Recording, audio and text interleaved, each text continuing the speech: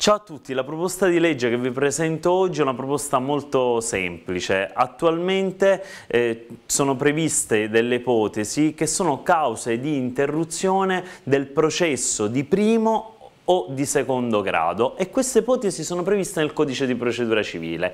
Però um, il codice di procedura civile non prevede che questi stessi fatti che comportano un'interruzione nel primo e secondo grado comportino un'interruzione anche eh, nel, per il processo in Corte di Cassazione. Allora quello che fa questa proposta di legge è stabilire che se un fatto comporta l'interruzione del processo di primo grado o del processo di secondo grado, così come è già previsto dal codice di procedura civile, deve anche comportare l'interruzione interruzione del processo in Corte di Cassazione. Leggete la proposta di legge, date come al solito tanti consigli, eh, ci vediamo su Rousseau.